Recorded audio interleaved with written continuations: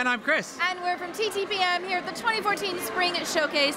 This is the Wicked Cool Toys table, and Chris has something very wicked cool. I'm actually really excited about these. These are small collectible guys. They come from in meteors. These are called the Crashlings, and the whole story is that they crash, they bounce around the uh, universe, and finally crash on Earth. They're great collectible items, but here's the other thing. Each of the Crashlings, one of their meteors, has this sort of, you know, reversible Ooh. pop toy, so it's really kind of two toys in one. Now, one thing we did learn in playing with them, you have to you have to play with it a little bit, and then it'll pop yeah. up and go about four feet in the air. Are really cool collectible toys. You know, we think that there's a real opportunity for this kind of collectible in the marketplace now. So many different things, and especially metallics, different ones, chase figures, all kinds of great stuff.